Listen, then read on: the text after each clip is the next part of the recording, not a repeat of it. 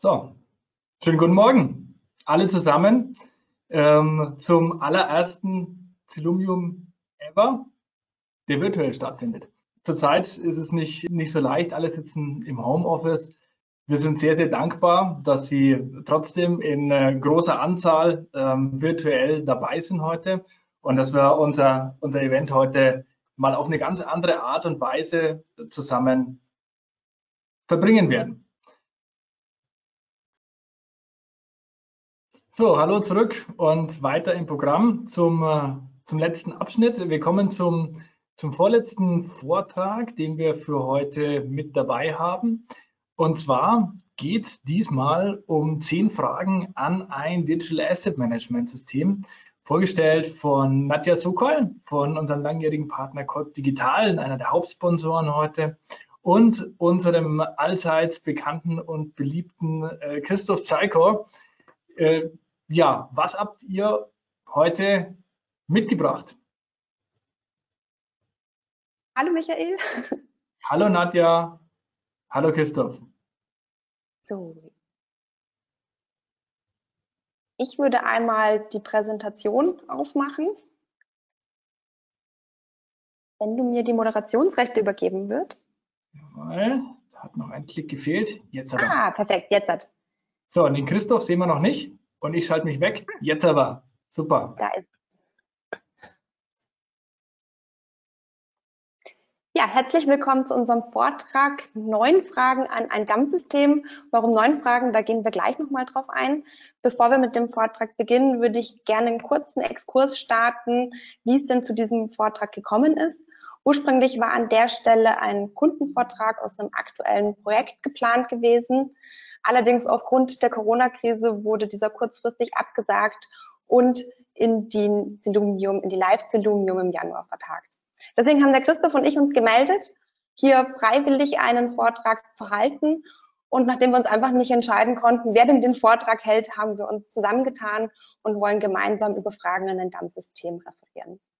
Vielleicht zu meiner Person. Mein Name ist Nadja Sokol. Ich bin Projektleiterin bei der Firma Kolb Digital und neben den klassischen Projektleitertätigkeiten bin ich auch aktiv in Anforderungs- und Konzeptionsphase involviert als Celum Consultant und unterstütze das Projektteam in konfigurativen Tätigkeiten.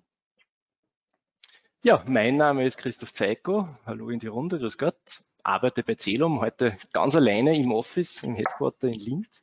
Ähm, bei Celum zuständig als Solution Architekt, die Anforderungen unserer Kunden so umzusetzen, dass man es mit unserer Software ideal abbilden kann und heute hauptsächlich für die Dialektvielfalt in diesem Webinar. Die Firma Kolb Digital, wie der Michael gerade schon gesagt hat, wir sind langjähriger Telum-Implementierungspartner und haben im Laufe der Zeit viele Projekte erfolgreich zum Go Live geführt, danach betreut und betreuen auch heute noch. Und im Zuge dessen haben wir die unterschiedlichsten Konzeptionsphasen mit den unterschiedlichsten Kunden aus den unterschiedlichsten Bereichen durchgeführt. Und dabei stehen aber immer wieder zentrale Fragen, zentrale Themenstellungen im Raum. Und wir möchten heute gerne einen Überblick über diese Fragestellungen geben und erklären, wie wir damit umgehen. Es soll natürlich kein Anspruch auf Vollständigkeit entstehen, weil in den 20 Minuten wir natürlich nur den Überblick geben können. Jetzt die Frage, warum wir nur noch von neun Fragen sprechen. Wir möchten natürlich eine gewisse Spannungskurve aufbauen und das Geheimnis um die zehnte Frage werden wir am Ende der Präsentation lüften. Der erste große Themenbereich, den wir uns anschauen wollen, sind die Upload-Prozesse und die damit verbundene Frage, wie übernehme ich meine Daten ins DAM-System?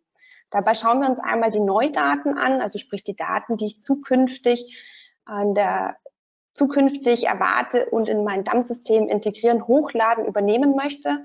Dabei gibt es verschiedene Datenquellen, die wir analysieren. Sind es Fotografen, die uns Bilder shooten zur Verfügung stellen, Agenturen, die Fotomontagen zur Verfügung stellen, Lieferanten, die Bilder bereitstellen oder eben auch eigen erstellte Dateien, wie beispielsweise Präsentationen oder eben auch systemgesteuert automatisiert generierte Daten, beispielsweise Strichzeichnungen, 3D, Daten. Ähm, wenn wir uns die Bestandsdaten anschauen, sind hier vor allem die interessante Frage, wo liegen denn meine Daten und welche Daten habe ich denn bereits in meinem Unternehmen? Diese Frage wird oft mit einem kleinen Ja beantwortet. Ja, ich weiß, welche Daten habe und natürlich weiß ich auch, wo die Daten liegen. Je tiefer wir in diese Konzeption, in die Analyse einsteigen, desto überraschter ist man oft, welche Daten sich denn wo im Unternehmen befinden. Und hier haben wir beispielsweise Daten, die bereits in bestehenden Systemen verwaltet werden, klassische Filestrukturen, auf denen die Daten teilstrukturiert liegen oder eben auch lokale Datenträger wie Festplatten, USB-Sticks oder eben auch CDs, die in den Schubladen von einzelnen Mitarbeitern liegen. Die interessante Frage ist hier natürlich auch, um entscheiden zu können, welchen Weg ich denn gehe, um meine Daten ins DAM übernehmen zu können, wenn welchen Datenmengen sprechen wir hier. Sind es beispielsweise PowerPoint-Präsentationen, die ich einmal im Jahr neu erstelle und zwischendrin nur aktualisiere? Oder spreche ich hier von Produktbildern, die vielleicht hundert oder sogar tausendfach im Monat in das neue DAM-System übernommen werden sollen? Ich weiß nicht, Christoph, hast du noch Erfahrungen mit Disketten sammeln können? Finde immer sehr, sehr nett und interessant. Disketten kenne ich noch, ja. Äh, den jüngeren Kollegen hier bei Erzählung muss mir mal erklären, woher dieses Speichersymbol im Word kommt, dass das eine Bedeutung hat. Und äh, bei meinen ersten Projekten hier bei Erzählung habe ich sogar noch Kunden kennengelernt, die sich äh, Datenträger per Fahrradkurier liefern ließen. Gibt es aber meines Erachtens auch heute noch. Ähm, ich werde Ihnen jetzt nicht im Detail die technischen Möglichkeiten herabbeten, die die Erzählung bietet, äh, Daten ins DAM zu überführen. Wichtig ist es äh, fürs Verständnis zu verstehen, dass es viele Datensilos bei Ihnen im Unternehmen gibt und so wie die Nadja auch gesagt hat, es wird wohl mehr geben, als Ihnen bewusst ist. Ähm, aber sehr relevant und sehr essentiell ist es, zuerst das Vertrauen zu haben, dass wir die Daten in ein strukturiertes System überführen können. Zweitens, dass das nicht alles auf einmal passieren muss. Und drittens, dass wir das schaffen, indem wir zuerst starten, die aktuellen, die tagesaktuellen Prozesse zu übernehmen. Und hier haben wir jetzt zum Beispiel mit Flowboards den neuesten Ansatz, dass wir wirklich sagen, wir starten mit einem DAM-System und lassen schon agil den Content reinfließen und können dann parallel größere Datenmengen über die notwendigen Importer, Schnittstellen oder sonstiges reinfließen lassen. Ja. Schauen wir zur zweiten Frage. Hierbei geht es um die Datenqualität. Warum ist Datenqualität in meinem DAM-System so wichtig und vor allem, wie kann ich diese sicherstellen?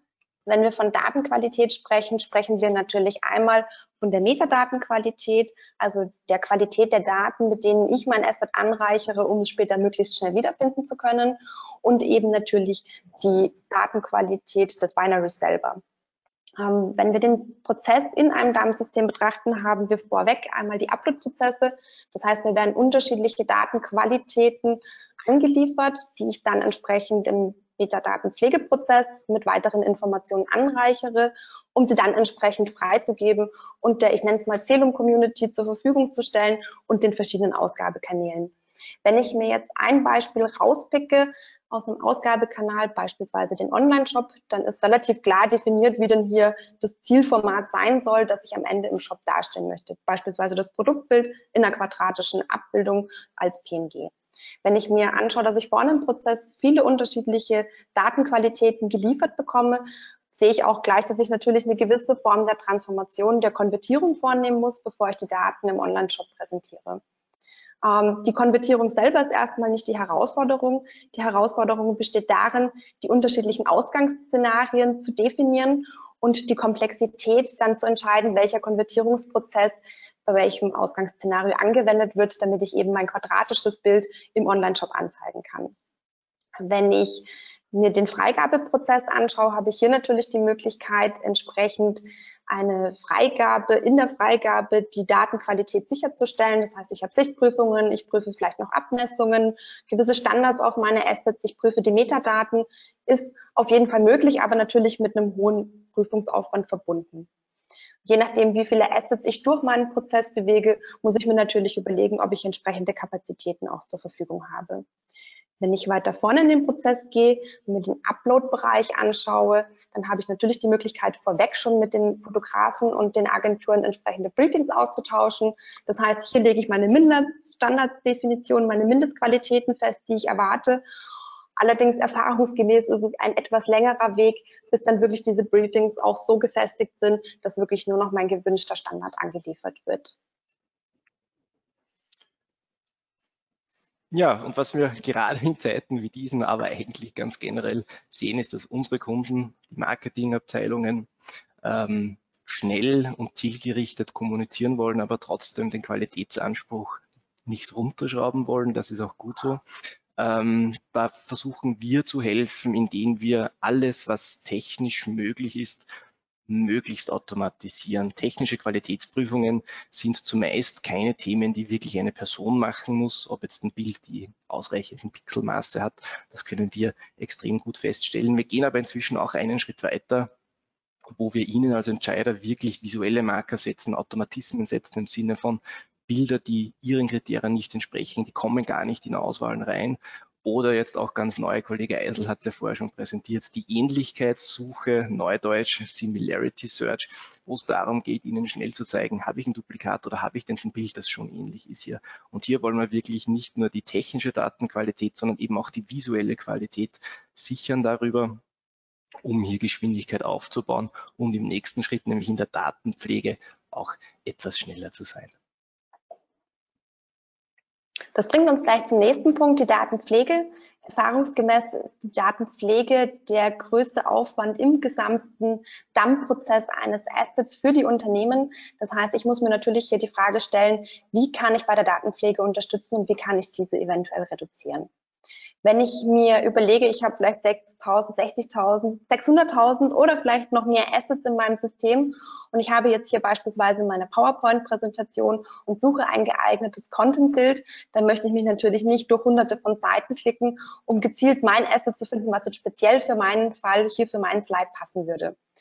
Auch je mehr Assets ich im System habe, wird es mit einer Volltextsuche entsprechend schwerer, weil auch da das Suchergebnis, wenn ich dort beispielsweise Keyword eingebe oder Schlüssel eingebe, entsprechend hoch ist und ich mich wieder durch verschiedene Seiten klicken muss, um mein passendes Asset zu finden. Wie wir es heute im Online-Shopping alle schon kennen, wollen wir natürlich die Facettensuche nutzen. Das heißt, wir möchten uns durch Filterkriterien an mein Zielasset heranhangeln. Das bedeutet, dass ich mir erstmal belege, okay, ich möchte ein Content-Bild haben, ich möchte vielleicht eine TIFF-Datei haben. Es wäre wünschenswert, wenn es ein Bild von iStock wäre. Das heißt, ich habe hier als Datenquelle beispielsweise iStock, die ich mit auswähle und gebe dann noch die Begriffe, die Keywords wie zum Beispiel Schlüssel und Hand mit und erhalte ein überschaubares Suchergebnis aufgrund dieser gesetzten Filter und komme relativ schnell damit an mein Asset. Das bedeutet aber im Umkehrschluss, je mehr Metadaten ich pflege, desto idealer kann ich die Facettensuche einsetzen. Je mehr Metadaten ich pflege, desto mehr Aufwand habe ich auch. Das heißt, ich muss mir überlegen, wie kann ich meinen Datenpflegeaufwand reduzieren, um eben hier entsprechend Kapazitäten auch einplanen zu können. Zu den Datenpflegen, insbesondere von den Keywords, geht es natürlich nicht nur darum, wie pflege ich diese an einem Asset, sondern wie sieht denn meine Keyword-Struktur aus und wie gehe ich hier vor allem mit der Mehrsprachigkeit um. Ja, und weil wir ja schnell äh, Medienmaterial, kreativen Content auf den Point of Sales bringen wollen, uns möglichst wenig mit der Datenpflege auseinandersetzen wollen, allerdings auch erkannt haben, dass diese wichtig ist, äh, darf Ihnen so vier gängige Best Practices mitgeben, die wir immer mehr und mehr bei unseren Kunden erleben. Das erste ist, bauen Sie auf ein kontrolliertes Vokabular. Was bedeutet das? Ähm, ich setze über Schlüsselwörter, über die Möglichkeiten, die ein DAM-System hat, äh, Vokabular auf, das ich bei mir im Unternehmen verwende, um hier auch Fehler zu vermeiden einfachsten Sinne wäre das zum Beispiel die Dialektvielfalt, die wir haben. Es gibt das Rad, Fahrrad und das Velo. Das ist in Wirklichkeit ein Datenobjekt. Zweite Sache, bauen Sie auf Massenupdates. Es gibt Schnittstellen, es gibt Excel-Tools, es gibt Datenbank-Tools, mit denen man das machen kann. Und jetzt zwei ganz große Trends und die sehen wir, dass die wirklich wichtiger und wichtiger werden und die sehr, sehr spannend sind, eben auch zum Einsetzen am Markt. Übersetzungsservices binden es die an. Da gibt es viele Möglichkeiten und Plugins dahinter und sind schlau. Lassen Sie andere äh, die Arbeit für sich tun. Künstliche Intelligenz ist unseres Erachtens inzwischen wirklich so weit, dass man sie sinnstiftend auch für diesen Job einsetzen kann. Sie sehen hier jetzt ein, ganz konkretes Beispiel, wo wir eine künstliche Intelligenz mal über dieses Bild drüber äh, gehen lassen haben und es nimmt Ihnen erfahrungsgemäß 80 bis 90 Prozent der Arbeit ab. Am Ende des Tages schaut man als Menschen nochmal drüber, gibt es frei und hilft der KI zu lernen. Aber es ist wirklich ein ganz toller Trend und der ist auch wirklich sinnstiftend hier. Ja, eine Sache, die viele, viele Kunden ganz intensiv nutzen, äh, auch der eine oder andere Vorredner äh, ist, ist sehr intensiv mit diesem Thema beschäftigt, sind die Lizenzrechte. Ich hoffe, dass wir keinen unter den Zuhörern haben, die mit der Verletzung der Lizenzrechte schon in Berührung gekommen sind, denn das kann durchaus sehr, sehr teuer werden. Das heißt, wir müssen uns in der Konzeptionsphase intensiv mit dem Thema auseinandersetzen und sicherstellen, dass diese Informationen im Datenmodell verankert sind, dass sie prozessual abgebildet sind und wir dahingehend die rechtlichen Bestimmungen einhalten können. Das heißt, ich muss auf jeden Fall im Asset pflegen, wo darf ich es dann überhaupt verwenden, unter welchen Voraussetzungen darf ich es verwenden, bin ich beispielsweise an irgendwelche Auflagen gebunden, wie lange darf ich es verwenden? Und habe ich Personen im Bild, von denen ich eine entsprechende Einverständniserklärung habe. Wenn wir wieder unser Beispielbild hier nehmen, ich nenne sie mal Laura. Laura hat sich shooten lassen und wir bilden sie in unserem Online-Shop ab und geben sie in sämtlichen Ausgabekanälen, in Marketingkampagnen wieder, hat uns eine Einverständniserklärung unterschrieben, ruft diese allerdings nach zwei Wochen aus persönlichen Gründen wieder zurück. Das heißt, ich stehe unter dem Druck, oder der Herausforderung, möglichst schnell darauf reagieren zu müssen und diese Bilder aus der Veröffentlichung, aus den verschiedenen Veröffentlichungen wieder rauszunehmen. Das heißt, ich gehe natürlich in mein DAM-System, möchte nach Laura Weber suchen können, möchte meine Auswahl von Assets bekommen, auf denen Laura Weber abgebildet ist und dann eben entsprechende Maßnahmen einleiten, um die Veröffentlichungen zu stoppen. Damit einhergeht natürlich nicht nur dieser manuelle Schritt, sondern auch, wenn Lizenzrechte auslaufen. Im Idealfall lasse ich mich vorher noch informieren. Achtung, da läuft ein Lizenzrecht aus, vielleicht möchte ich es nochmal verlängern. Oder aber ich möchte natürlich automatisiert die veröffentlichungen entsprechend zurückgenommen werden aus den Ausgabekanälen, um hier einfach die Einhaltung der Lizenzrechte sicherstellen zu können. Auch hier wieder in der Konzeption ein ganz wichtiger Schritt. Sind schlau, denken Sie mit. Äh, solange Mitarbeiter zum Beispiel im Unternehmen sind, haben sie grundsätzlich oft kein Problem, dass ihre Bilder verwendet werden. Dennoch benötigen wir in einem vernetzten DAM-System, wo Bilder im DAM-System sind, auf der Webseite, im Intranet, die Möglichkeit, sehr, sehr schnell reagieren zu können. Schnell reagieren, ich darf Ihnen hier vorstellen, einer der Zelo-Mitarbeiter fürs interne Controlling zuständig bei uns. Ähm, haben wir durch eine Gesichtserkennung laufen lassen. Was hilft mir das? Ich kann sehr, sehr schnell identifizieren, auf welchen Bildern, auf welchen Medienmaterialien Mitarbeiter oder Personen drauf sind. Und wenn wir jetzt an die Datenschutzgrundverordnung denken, gibt es ja auch da Regelungen, die von besonders schützenswerten Interessen ausgehen. Bildern von Kindern zum Beispiel, die ja trotzdem im Marketing hin und wieder verwendet werden. Ähm, nutzen Sie das, kennzeichnen Sie es. Sie sind sicherlich sehr, sehr froh, wenn Sie dann, sollten sich irgendwelche Themen ändern oder man schnell reagieren will, dass man die, die Grundvoraussetzung geschaffen hat. Und nehmen Sie sich ein, zwei Stunden Zeit und diskutieren es vor allem zum Thema Lizenzrechte, auch von Bildern, von Stock-Content mit dem Implementierungspartner. Das schadet nicht. Die zwei Stunden, die hat man dann später sehr, sehr schnell wieder hereingeholt. Das bringt uns ja dann auch schon wieder eigentlich zur nächsten Frage, die wir beantworten müssen, Nadja. Die Freigabe, die Datenfreigabe. Wenn wir in der Konzeptionsphase sind und mit den Kunden über den Freigabeprozess sprechen, wird meistens lautet die Antwort, dass der Freigabeprozess ganz unkompliziert ist und auch komplett klar ist.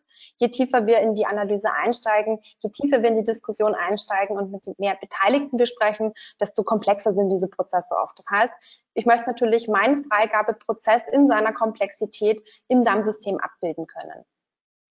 Des Weiteren ist es so, ich kann nicht von dem einen Freigabeprozess sprechen, denn ich habe für unterschiedliche ähm, Datenquellen für unterschiedliche Datentypen mit Sicherheit unterschiedliche Prozesse. Das heißt, ich möchte eine gewisse Flexibilität hier haben.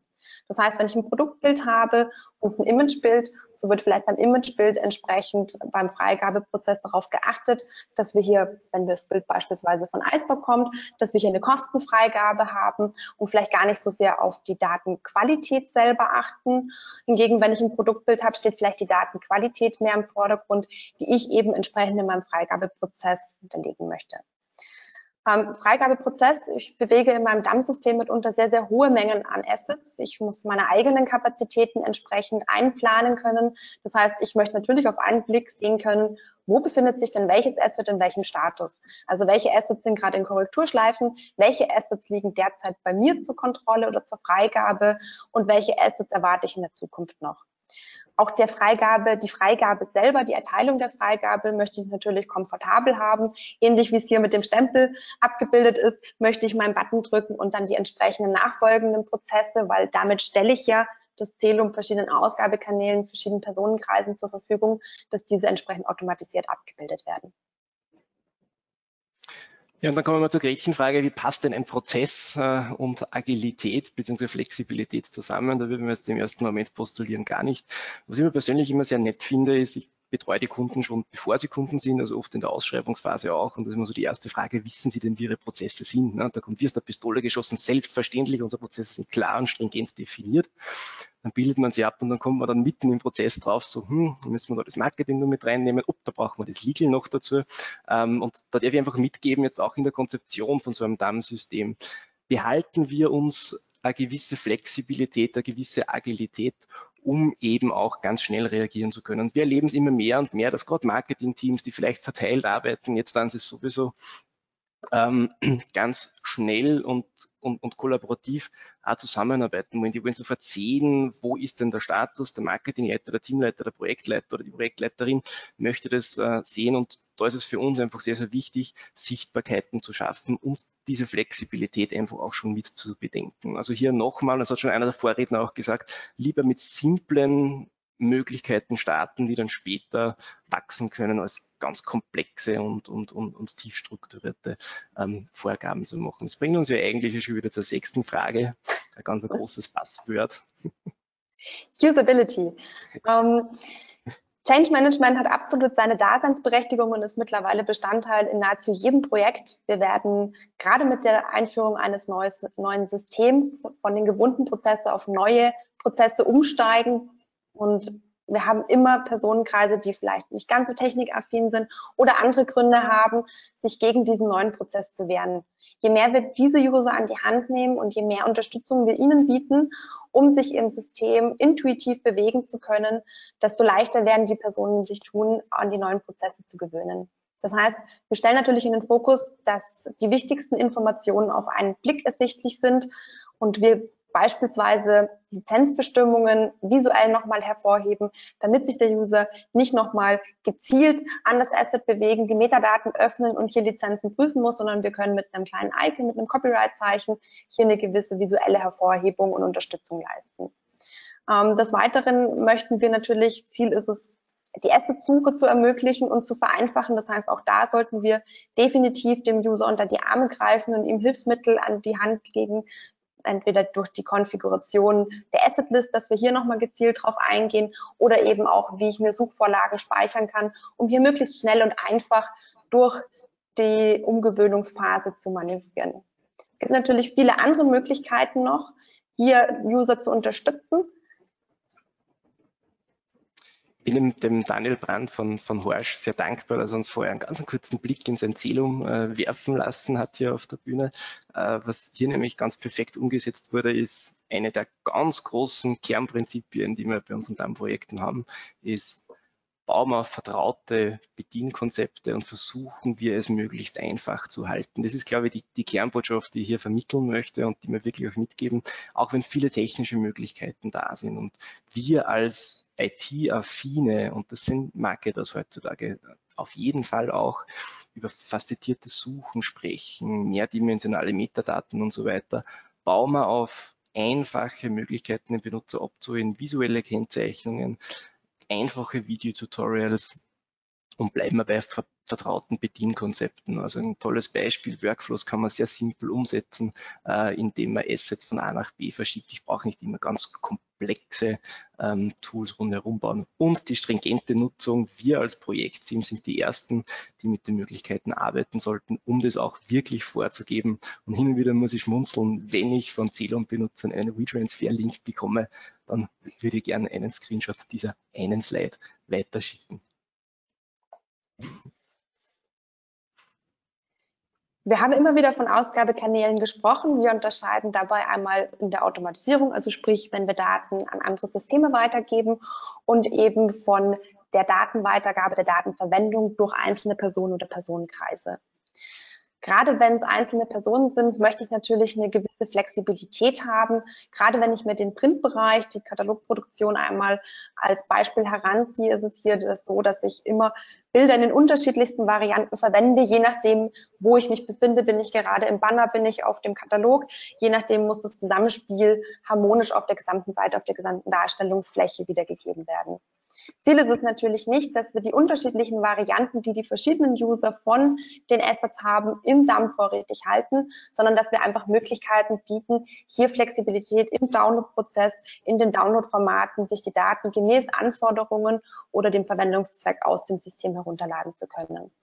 In dem Falle arbeiten wir sehr, sehr gerne mit dem Image Editor oder mit Interceptoren oder eben auch mit den Download-Formaten, die uns eben genau diese Flexibilität an der Stelle bieten.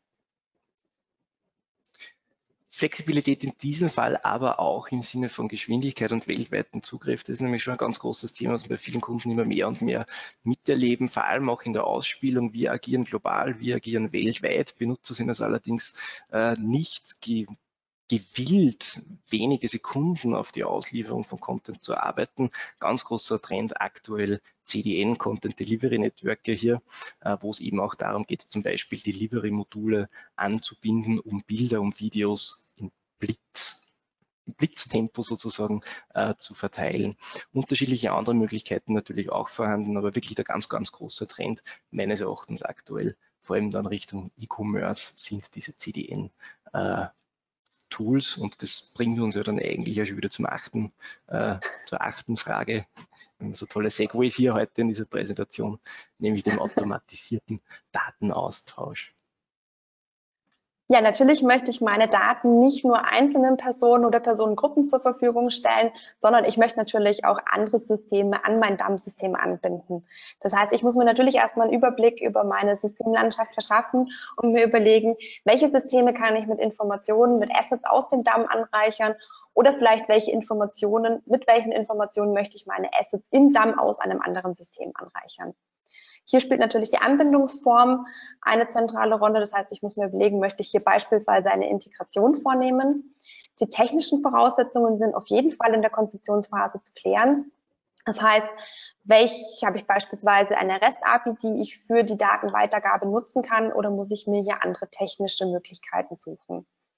An des Weiteren, was damit reinspielt, sind auch die infrastrukturellen Voraussetzungen, die gegeben sind. Das heißt, ich muss eine Kommunikation zwischen beiden Systemen natürlich erstmal grundsätzlich möglich machen und mir überlegen, vielleicht gibt es irgendwelche Sicherheitsrestriktionen, die es an der Stelle zu berücksichtigen gilt.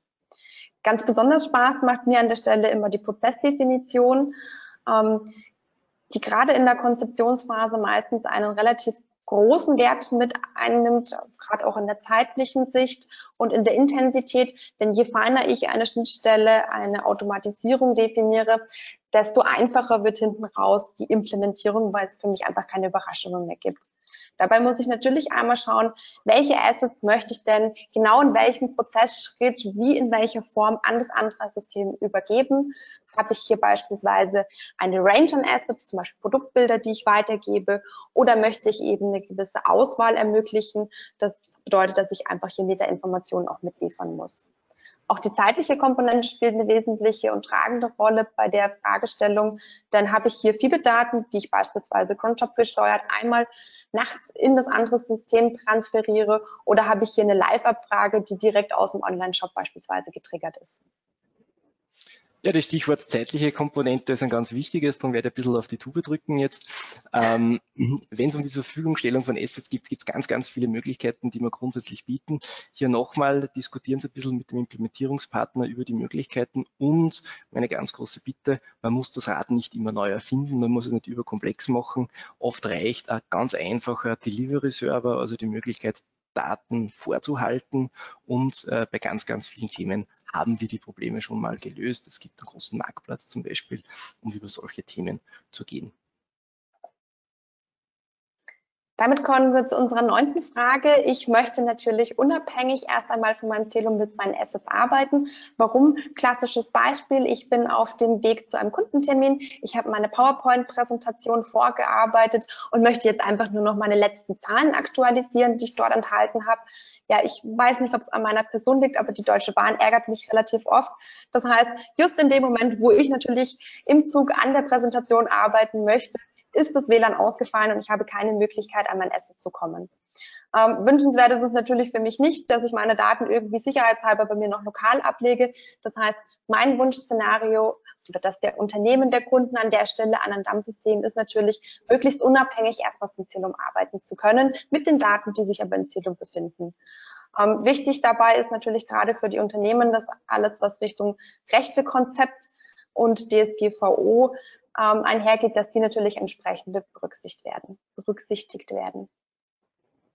Ich möchte übrigens beruhigen, es ist nicht nur eine Eigenart der Deutschen Bahn, dass das WLAN hin und wieder ausfällt. Beruhigt. ähm, der Trend mit diesem lokalen Arbeiten oder lokalen Sichern ist, def ist definitiv gegeben. Ähm, wir sind ja sehr froh, jetzt im Consulting hier bei zusätzliche Möglichkeiten, Stichwort Ziel und Reif zu haben. Wichtig ist aber dabei eben auch auf die Berechtigungen zu achten und auch sicherzustellen, dass nicht jeder Mitarbeiter Content rausziehen kann und den dann weitergibt.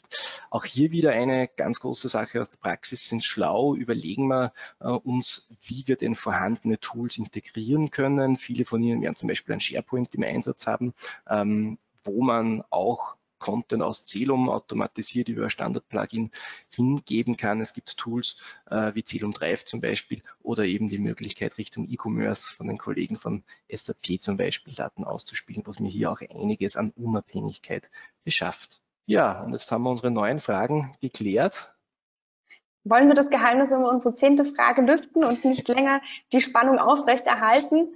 Ähm, die wahrscheinlich am häufigsten gestellte Frage in jedem Projekt, insbesondere in der Konzeptionsphase, gibt es noch Fragen? Ähm, dann am Ende von der Konzeptionsphase, wenn wir diese verschiedenen Themen und noch mehr Themen besprochen haben, sollte diese Frage ganz klar mit einem Nein beantwortet werden können. So, ich gucke mal.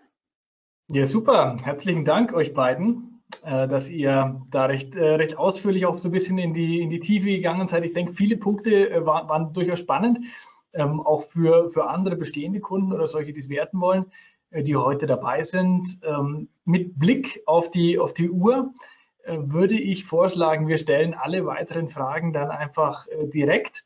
Und ja, herzlichen Dank euch beiden, liebe Nadja, lieber Christoph, dass ihr wie, wie immer charmant diese, diese Session ähm, geleitet hat. Vielen Dank dafür.